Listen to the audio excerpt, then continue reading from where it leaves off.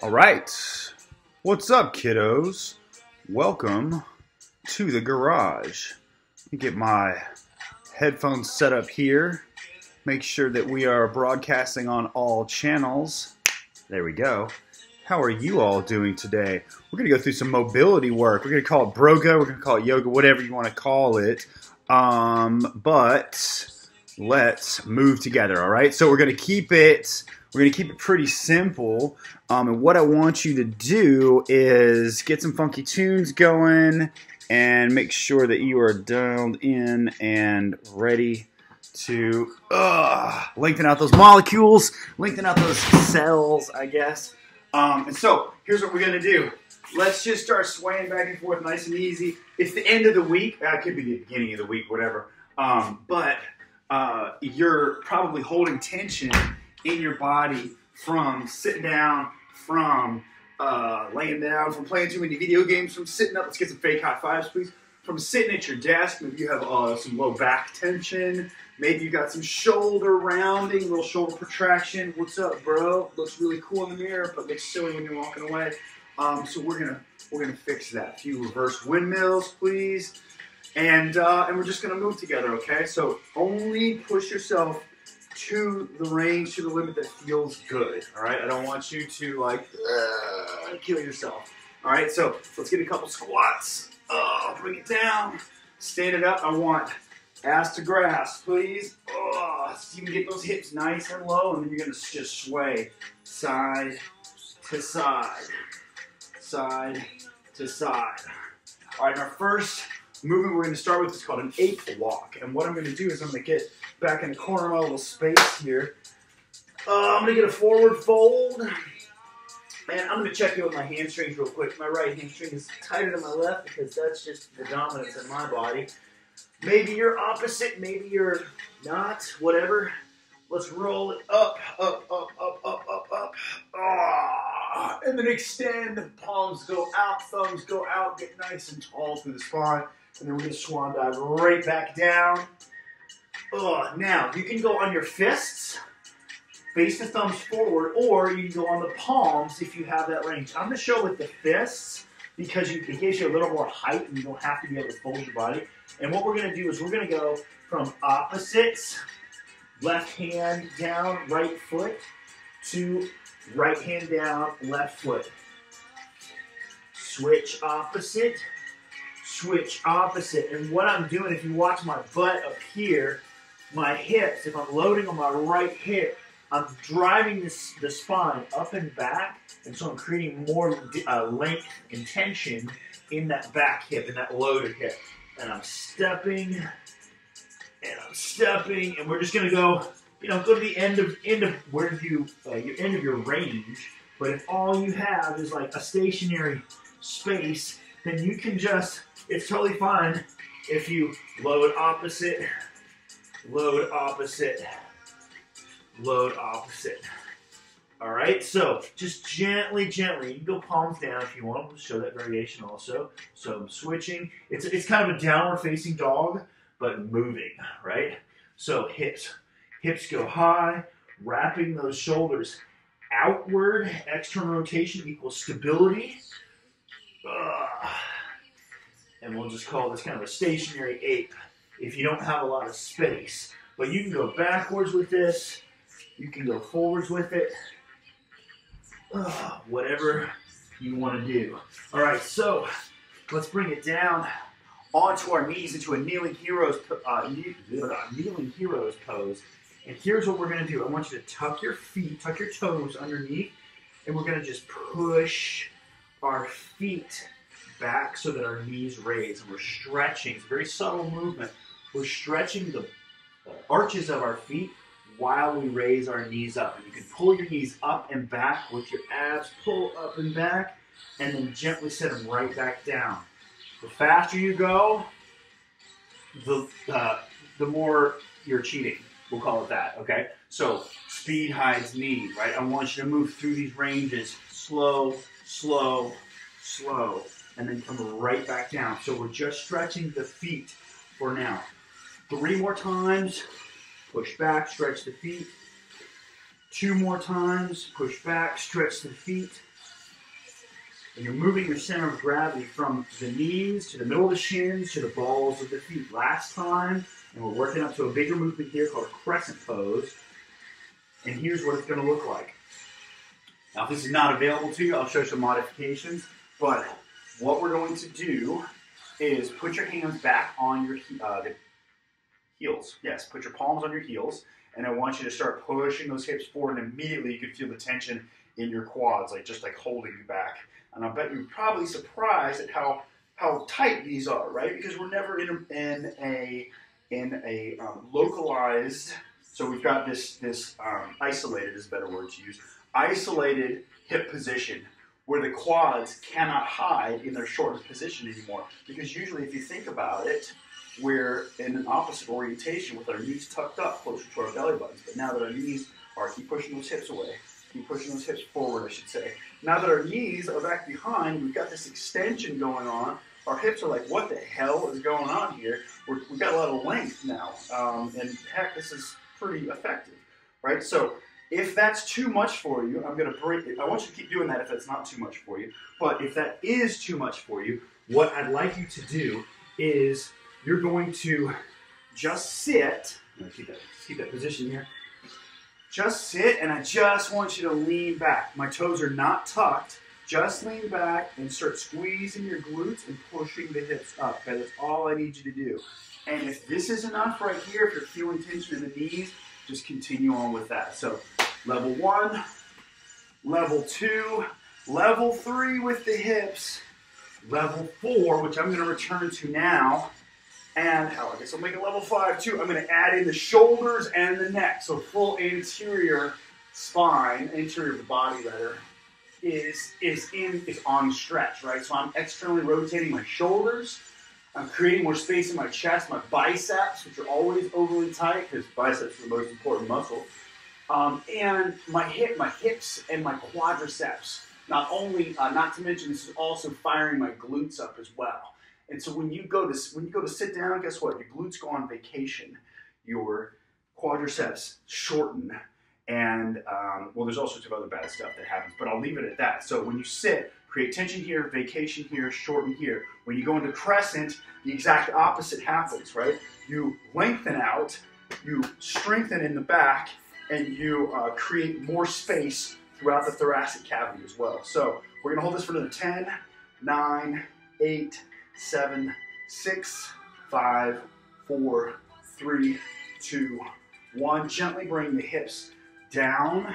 Bring the hands in front. If you are if you are seated with your toes untucked, let's tuck the toes this time. We're to push back into. If you can balance, that's great. If not, just bring your feet a little bit wider. If you got to bring your butt up, that's totally fine. But what I want you to do, if you can, load your heels, drive straight up. Okay? If that's unavailable to you, if your heels are up, we might want to talk about lengthening out your calves a little bit more um, and creating so that your uh, knees can go forward and your hips can go back. Okay, I know it's kind of complex. I'm talking really fast, but I've got a lot to cover. So let's go back to ape. And what I want you to do is uh, just getting kind of your downward facing dog. Right? You can call this walking dog if you want. Just call it ape because it's uh, it's kind of how apes walk. And you can do the stationary. Right? We want opposites, contralateral load. I'm going to move slowly forward and watch my shoulders. My shoulders are not to tuck up on my ears. They're to sink down and back away from my ears to create stability. Stability is what we want. And we're shifting our load diagonal, diagonal. And now we're coming back and coming back slowly. When you come back, when you move backwards, you're loading those shoulders up and pushing, just like when you're uh, loading your hips up when you're moving forward. So you kind of trade the joints off. Let's go back and forth one more time. Side to side. Remember, the slower the better. Speed hides need, my friends. You fly through a specific range and hope that you're uh, hope that you're fooling your body. Well, you're not. Guess deep down inside, you know that you need to get better at that range. Another thing this is great for is segmenting, uh, uh, having the joints move independently of one another. creating that joint interdependence is important, but independence is also important. All right, so bring it back down to your hero's pose. Boom, just chilling. And we're just gonna open up that anterior again, all right? So if you wanna stay right here, gravy train. If you wanna lean back, start opening the shoulders up, super duper gravy train. If you wanna start adding hip extension in, even better, you do you, okay? Um, I'm gonna go and take it to that next level. Tuck the toes, hands on the heels, start turning those glutes on. Make sure that your heels are about shoulder width apart. Um, so give, give yourself some space to work, right? So glutes tight, tight, tight, tight, tight, and start pushing those hips forward. Yes, it looks very suggestive. Yes, it looks very funny. But who's going to be laughing when they don't have any spinal, shoulder, hip, or knee uh, issues? So do what you got to do. Open those biceps up. Open those biceps up. Ow. We're holding for 10. Breathe. Nine. Eight. Big breaths. Seven. Six. Squeeze glutes, squeeze hamstrings. Five. Four. Open those shoulders up. Rotate them out. Three. Two. One. Ah, gently bring those hips back down. Yeah. Awesome, awesome. Shake them out. Plant the hands on the ground. Push those hips back so the heels come down to the ground. Boom, right there. Chest is up, straighten that back, drive into the ground. Okay, so let's add some twists. A twist, not some twists. So what we're going to do, first twist in the day, probably the only twist of the day actually. Um, I just want you to take a nice A-frame, right? A-frame uh, position. And what you're going to do, you got foot A, foot B, right foot, left foot. You're going to, get off here at an angle. You're going to chop at the hips, hinge those bad boys over, and you don't have to keep a straightened spine once your hamstrings are loaded, okay? The, the, most important part about this is keep a straight spine, keep a neutral spine, so hamstrings are loaded, then you can let your body flop over, right? So here's what we're gonna do. We're gonna do this, uh, is called an A-frame hip shift. A-frame hip shift, okay? So once I've got my chop on, I've got my flop on, I'm just kind of letting my spine hang. My knees are locked out. I'm gonna come on over here, I'm gonna check in with my toes. What's up, little guys, how are you? Uh, then we're gonna shift over to the right side. What's up, little guys, how are you? And I'm going to show you how subtle this, this shift is by turning around, put my big butt up to the camera. We're chopping left side. You can see my left hip is loaded completely, right? I'm just hanging out, blah, blah, blah, maybe play some piano chords or whatever. And I'm going to shift over, that subtle shift from the right, from the left acetabulum to the left acetabulum. Acetabulum, I'm saying that wrong, sorry. And now I'm loading all of this hamstring, calf, soleus, bottom of my foot complex, shifting over. Okay, so I'm not going to put my butt up to the camera the whole time. I just want you guys to see that. So you keep doing that, please. Chop over, sway. Nice and easy, sway. And as you sway, it's called a dynamic stretch. As you sway back and forth, what I want you to think about is getting deeper into that stretch, getting longer, into that stretch. What do you feel? What imbalances do you feel? Is one leg tighter than the other? I sure know mine. Uh, mine are imbalanced. My right side is so dominant over my left. It is actually something that I have to do corrective work constantly to keep in balance or to keep from falling too far out of balance. So I'm getting deeper and deeper into this stretch every single time. And we've got five more transitions. Shift the hips slightly over. Just let that head hang too. You're in a safe space. No one's going to attack you. Ugh, so just let the head hang. The um, that characteristic that we, that we utilize to, to always want to be up and looking around. That's in um, the, the limbic brain, the lizard brain, the ancient brain, way back in the back of our head, and it's, it is to it is to protect against threats, to protect and detect threats. And it's something in our modern world that we just don't need.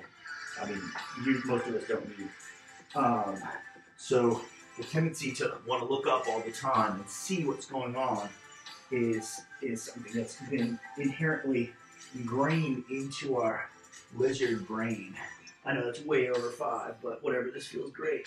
Three, two, one, and let's bend those knees. Bring them in and down to the ground, and let's take it into a nice child's pose just to reset. Nice wide base. Hips go down and back. Toes are out forward. I want you to cross. See how I'm looking up again? Like I need to see what my hands are doing. I've got five senses, right? Sight is one of them. If I take that away, I've still got four more. So while smell is probably not going to do, do too much, we've got we've got our sense of sound, uh, hearing, and we've got our tactile senses that will do very very well here. So head is going to be down, nice neutral spine, and you're going to grip forward to create a bit of tension, and then I just want you to sway side to side, gently sway side to side. Ugh. We're going to call this swaying child's pose. If it's not a thing, it is now. You heard it here first. And as you sway, I'm swaying to the left, and I'm pushing my left right hip down to create lengthening, uh, stretching the adductors. As I sway to the right, I'm pushing my left hip down. Sway for 10, 9, 8. Yes, this looks also pretty suggestive also, but uh, do it, and you'll be laughing all the way to the bank when your body feels amazing and everybody else starts to, starts to break down. Trust me. Trust me on that. Five, four, three, two, one. Ah, very nice job.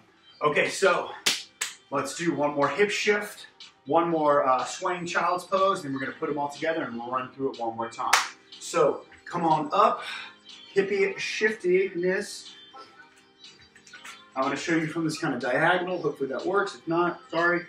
Um, so we take a nice tall spot. Uh, however you want to get into that position, chop those hips. They're going to go back like this. Then you're going to, as you've uh, you've bent over, your spine's nice and taut.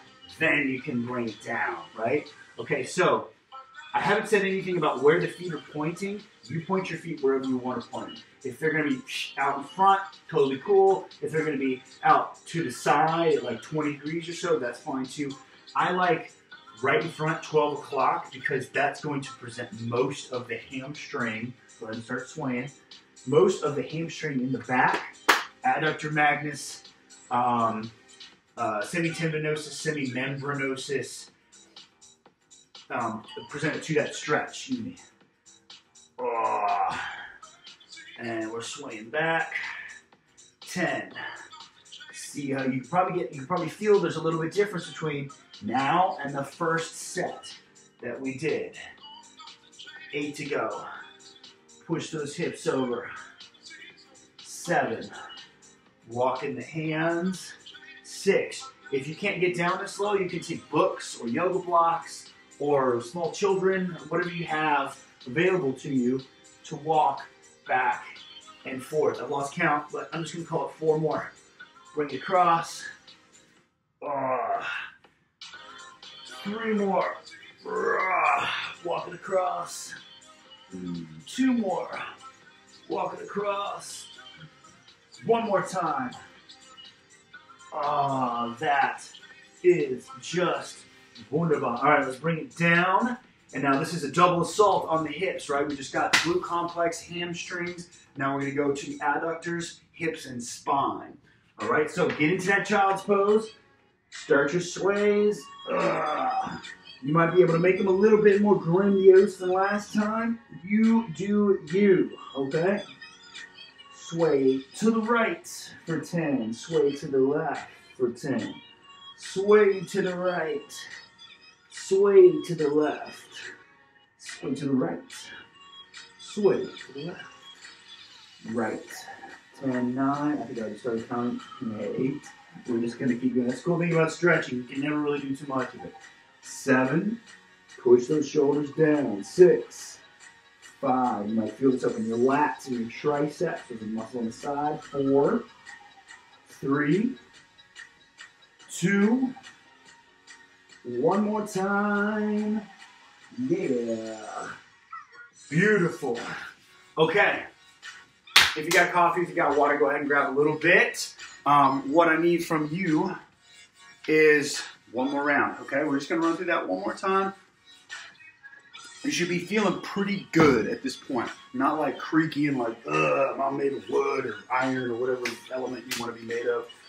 Um, the point is to increase circulation to the body, increase circulation to the brain, and help you move and feel better. Because if you feel better, you can focus on why you're here, right? Work, play, productivity, making the world a better place, right? Nobody can nobody can live up to their true potential if they're distracted with injury. All right, so here's what we're gonna do. We're gonna stand at the corner of, my, of, of our mats or whatever you have, right? You can do the ape stationary if you'd like, but ugh, I'm gonna I'm gonna walk because I've got the space. And remember, this is diagonals. Diagonals. You can just stay in place and do this if you want. But I'm gonna walk and I'm making this a little bit exaggerated so you can see what's going on, so you can see where the load in my hips is. Hips are loaded on the way forward because I'm propelling myself with my calves, with my ankles. And hips, I'm sorry, shoulders are loaded on the way back. And all you're gonna do, push with the shoulders. This is where my stability is coming from. I'm gonna switch that over. This is where my stability is coming from. Right across the body. Push back. Push back. Push it back. Push it back. There we go. Good stuff. Uno más, por favor. Uh, switch. Switch. Uh, switch.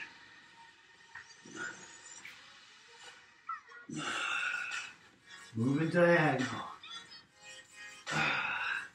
Once you have this and you're doing it well, start focusing on those tissues.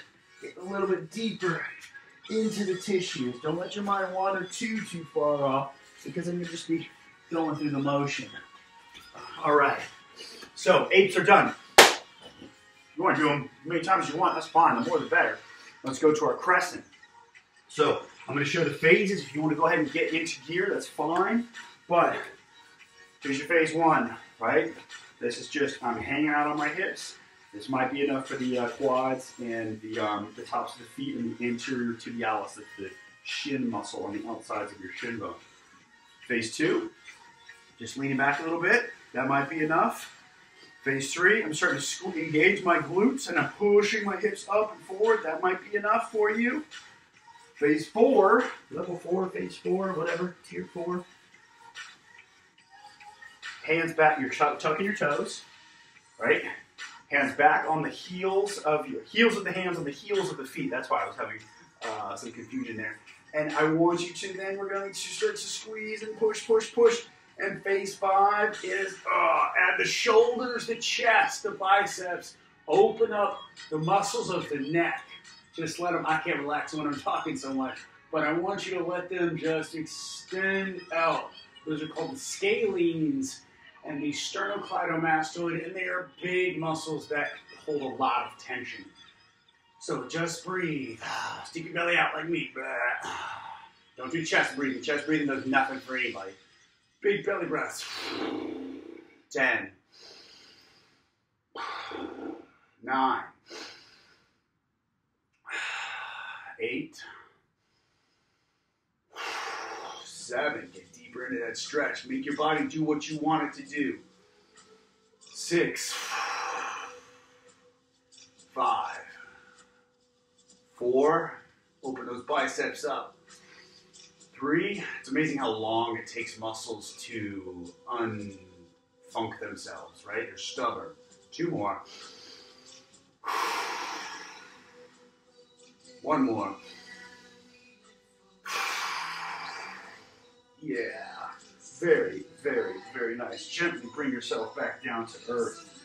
Oh, and let's set up for our A-frame hip shift. Okay, so boom, bring it up. Feet out to the side.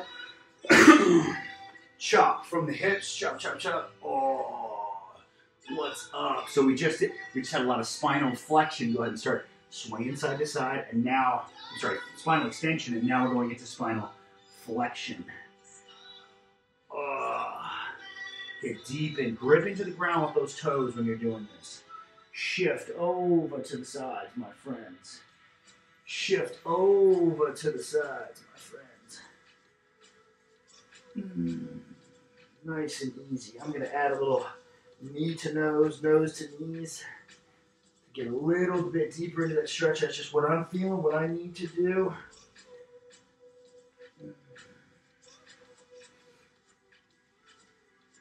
Eight more. Sway it over nice and easy. Seven more. Nice and easy. Six more. Nice and easy. Oh, five more. Nice and easy. Four more. Three. Two. One more time. Ah, beautiful, beautiful, beautiful. Bring it down to the earth. Let's get that child's pose hips wider than, I'm sorry, knees wider than the hips, about shoulder width, maybe a little more. Extend those fingers forward. Find yourself wrapping your elbows around so you can create a little bit of tension under the arms, and then we're just gonna sway back and forth. Open up that rib cage. Open up that spinal column. Sway.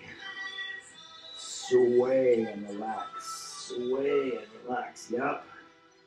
10, 9, 8, don't forget to breathe, my peoples.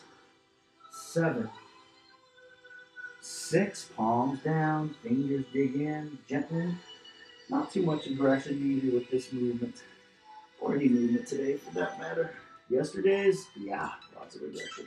But today, today's the trough that follows the crest. There will be another crest, there will be another trough, such as life. Two more. One more. Ah. Beautiful. All right, and here's where I'd like to wrap class up.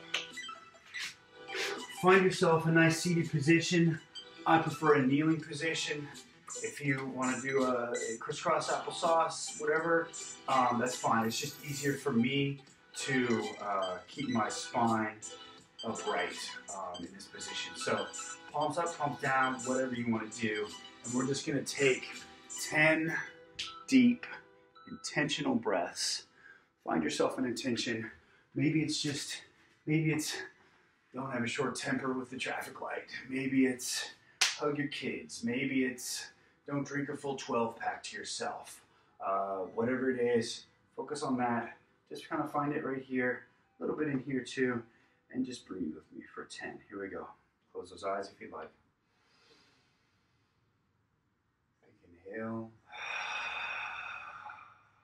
Out through the mouth.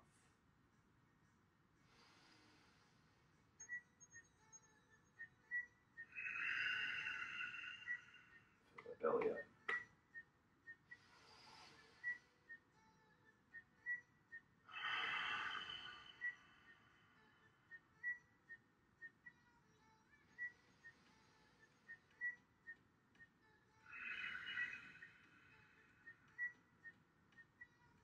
Holding any tension in your body, just let it fall away.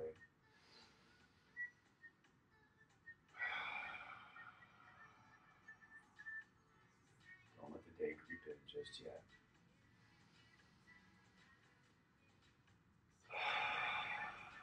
If it does, just acknowledge it and let that thought pass on through. Four more breaths.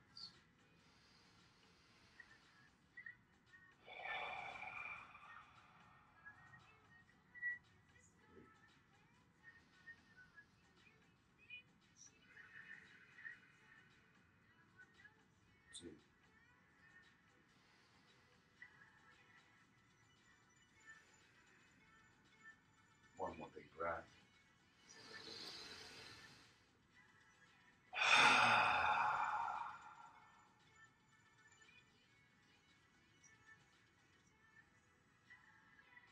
Excellent. All right, my friends. Thank you so much for joining me in the Body Garage Mobility Sessions this morning. I hope you have an amazing day. change the world for the better because it's much easier to change it for the worse. And I will see you next time in the garage. Peace.